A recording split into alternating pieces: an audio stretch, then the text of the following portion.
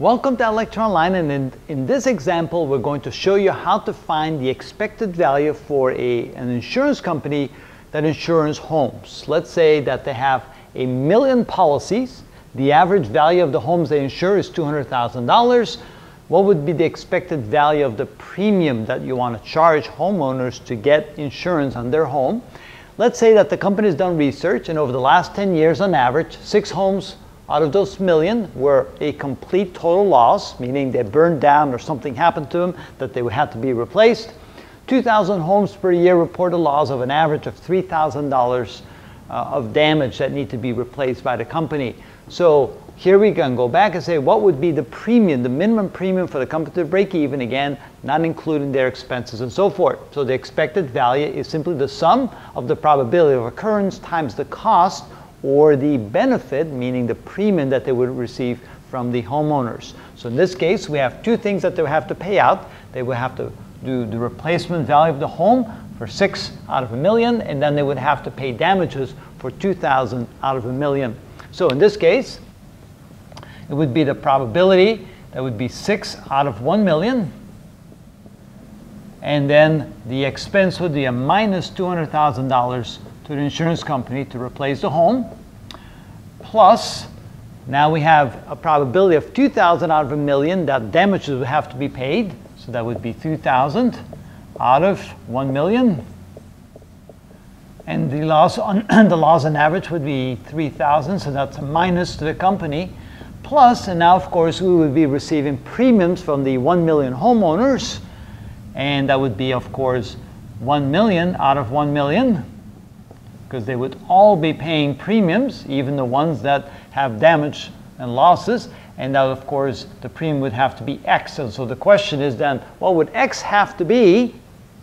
Because the break-even point would be zero, so that as much money would be coming in as would be paid out. So in this case, we're looking for X. And of course, the expected value in this case would be zero, assuming no profit and no, no coverage for expenses. So the minimum price that the pay payments would have to be. All right, let's figure this out. So here we have 200,000 um, divided by a million. Oh, so that's basically 0.2 times 6 equals, and so that would be equal to, that's kind of interesting when you think about it. Um, that would be 1.2 million divided by 1, that would be minus 1.2 plus, well, actually would be minus again because we have a minus over there. So it would be uh, 2,000 times 3,000 equals, divide that by million, so it would be minus 6.0, and then would be plus x equal 0. All right, this is kind of interesting when you think about it.